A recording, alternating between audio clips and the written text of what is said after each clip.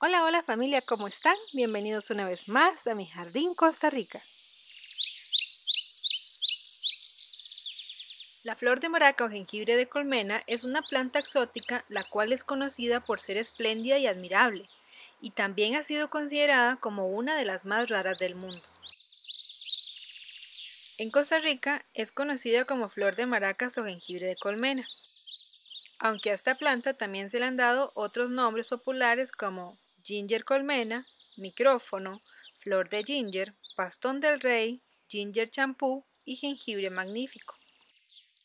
Son familias de las siliconias y están dentro del mismo grupo de la cúrcuma o el jengibre comestible. En cuanto al crecimiento de esta planta, las hojas que corresponden a sus vástagos llegan a alcanzar más de 2 metros de altura, mientras que la colmena, que es la parte de la planta que contiene la flor, llega al tener una altura de 40 centímetros a más de un metro. Su nombre científico es Gingiber spectabile. En inglés su pronunciación sería Gingiber respectable, lo que tiene mucha relación con su nombre. Hace referencia al gingiber, que es jengibre, y el spectable, al que es admirable o es magnífica. Otro dato curioso es que estas plantas son originarias del sudeste asiático, sin embargo, podemos encontrarlas y reproducirlas sin problema en climas tropicales como Costa Rica.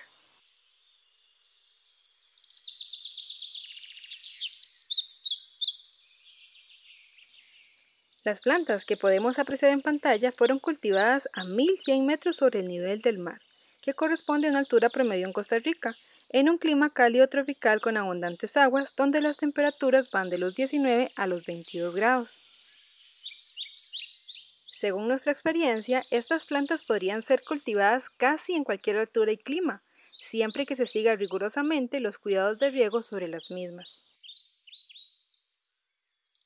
Como pueden observar en pantalla, la textura de esta planta es blanda. Sus pétalos son suaves y esponjosos y se encuentran mayormente húmedos. Sin embargo, que esto no te confunda. Esta planta, a pesar de poseer un aspecto delicado, tiene una estructura adecuada para soportar su manipulación por medio de movimientos semibruscos, como la que podemos apreciar en el video, donde yo estoy tomando la flor, la exprimo, le saco el líquido, manipulo sus pétalos sin causarle un daño radical a la misma. Únicamente es una manipulación semibrusca, sí, pues le estoy exprimiendo el líquido y aquí la estoy manipulando más de lo adecuado o de lo que comúnmente se haría, para que ustedes puedan apreciar su textura, su forma, cómo se compone. Sin embargo, esta flor está en perfecto estado, no se le causó ningún daño radical y al día siguiente va a estar exactamente igual de llena que al principio cuando empezamos a manipularla. Ya que el secreto para que estas plantas permanezcan hermosas es el constante riego diario. Recuerden que nuestras recomendaciones las hacemos basados en nuestra experiencia a la hora de cuidar nuestro jardín.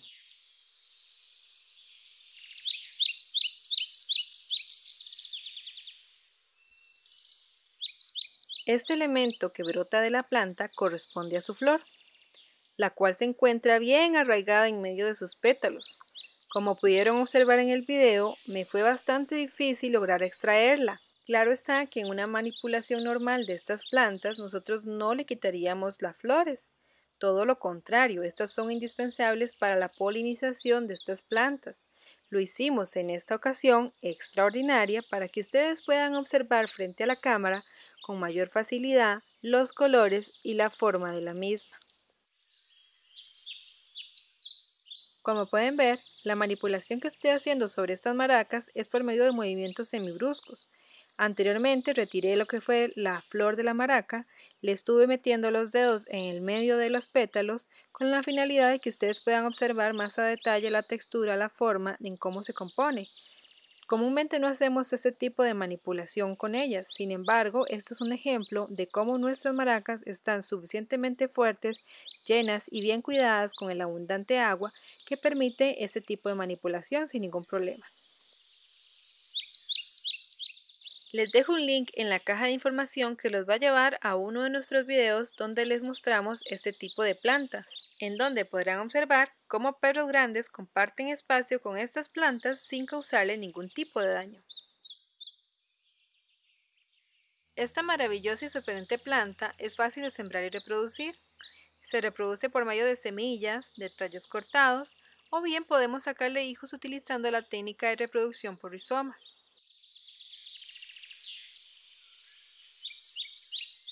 Siendo esta última técnica la que recomendamos como más efectiva para lograr su adecuada reproducción, pues esta planta se reproducirá como un tipo tubérculo al utilizar la raíz y hace que su propagación sea mucho más rápida y efectiva. Ahora bien, ¿qué colores vamos a encontrar en este tipo de planta? Bueno, estos van desde el rojo, el rosado, el morado y el amarillo, y las tonalidades que existen en medio. Otro dato curioso sobre esta espléndida planta es que sus colores pueden ir cambiando conforme se van haciendo más grandes. Así, por ejemplo, las que estamos viendo en pantalla comienzan con un color amarillo pastel, y conforme se van desarrollando, van creciendo, se van haciendo más grandes y más viejas, se tornan en un color rosa hasta llegar a un color rojo intenso.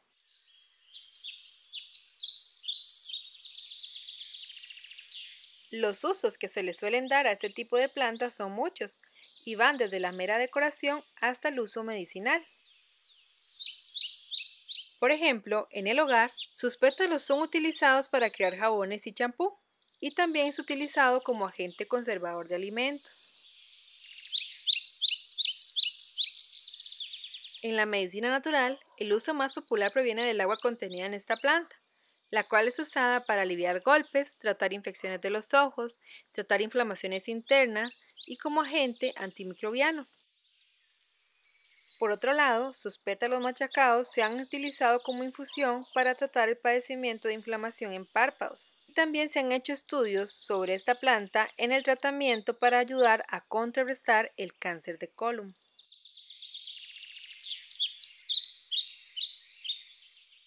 En el jardín ayuda atrayendo insectos polinizadores, lo cual es un proceso de suma importancia y fundamental para la preservación de las plantas y cultivos. Otro dato curioso es que estas plantas acumulan agua en su parte superior y entre sus pétalos, y son muy útiles para los insectos y las aves para que puedan acercarse e hidratarse sin correr peligro de ahogarse o quedarse pegados en las paredes húmedas de los recipientes contenedores de agua, volviendo este sistema de la naturaleza maravilloso y perfecto para que los insectos y las aves se hidraten sin correr riesgo de morir ahogados, como frecuentemente suele suceder al utilizar charcos y contenedores de agua para hidratarse pues al mojarse incorrectamente sus patas o sus alas pueden quedar imposibilitadas para volar o quedar maltratadas, volviéndose mortales este tipo de charcos en la mayoría de los casos, lo que no ocurre con nuestra flor de maraca.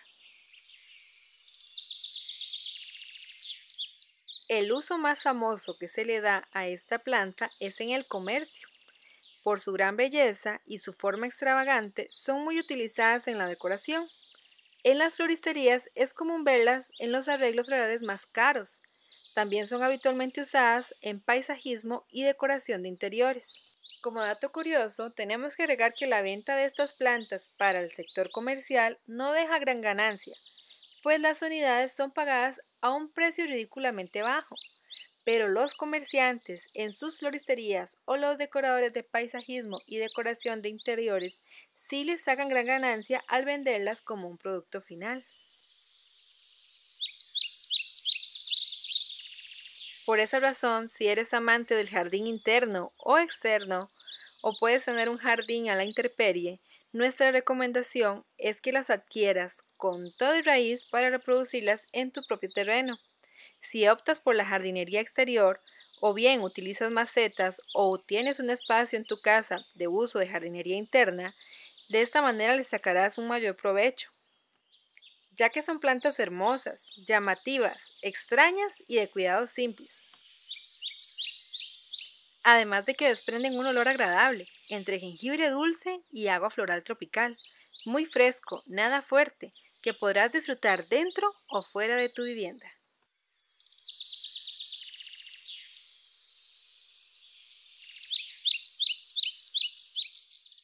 Esperamos te haya resultado interesante este video. No olvides dejarnos tu like, tus comentarios y compartirnos en tus redes sociales. Recuerda suscribirte a nuestro canal y seguirnos en nuestras redes sociales. En todas aparecemos como Mi Jardín Costa Rica. Hasta la próxima.